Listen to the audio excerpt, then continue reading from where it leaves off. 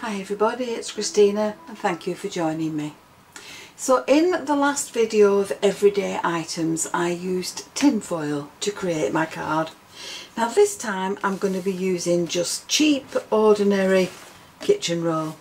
You can use tissues, you can use toilet roll, it's entirely up to you. But this is just some uh, kitchen roll and all I'm going to do with that is wet it you will need an embossing folder. It doesn't have to be a 3d folder but you will need an embossing folder to put the pattern into your um, your kitchen roll.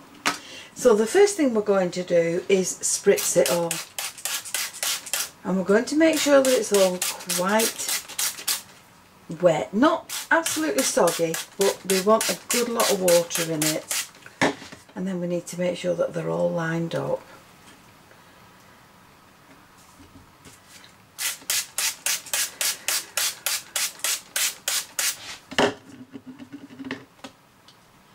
We've got some dry patches there. We'll just get rid of those. We'll put some water in those. Now this is two ply kitchen towel.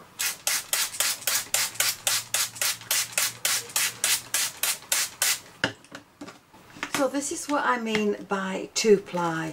It's two pieces fastened together. So I've got three sheets of or three of these pieces of the kitchen roll which are two pieces thick and I've laid them down and this is what I have spritzed. Now once I've done that I can open up my embossing folder and I'm going to lay these inside. So once we've done that we can close the folder up and all we're going to do with this now is just emboss it through the machine in the folder. So before I put mine through the machine I'm just going to trim off the excess. Now you will find when you put this through your machine that it will squeeze out some of the water that's in the, the kitchen towels. So you will need to clean up, be prepared for a little bit of mess. So once you've had this through your machine, you can open it up and there's the pattern in your paper. Now you can either leave it in the folder to dry or you can take it out and let it dry. But either way, you need to leave that alone now until it's completely dry. And once it is dry, you can trim it down and this is what you will have. So you can use either side to create your pattern. I prefer this side and I've trimmed mine down to fit a 5x7 card but I've also cut myself another piece that will sit behind it and I'm going to glue that in place for my card.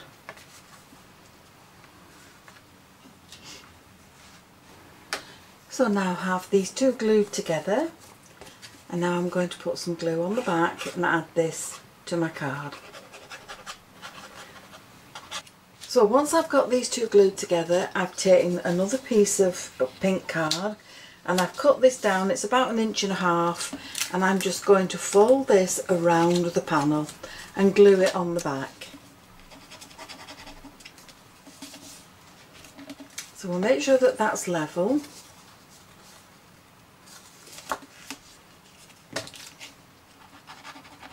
And then once I've done that I can add all this to my base card.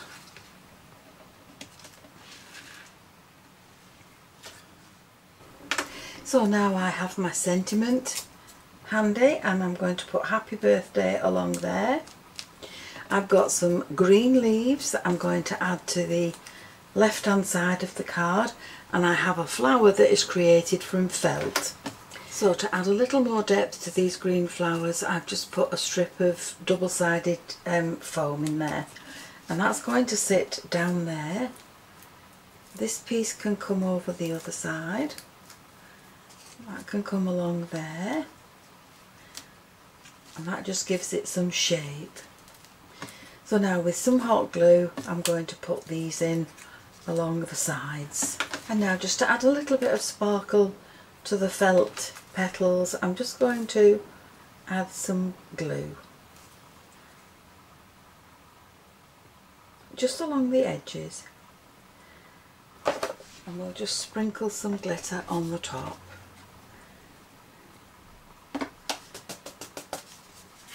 There we go. Now once the glue dries, it will dry flat, it will dry clear, and the only thing that will sparkle on there is the glitter.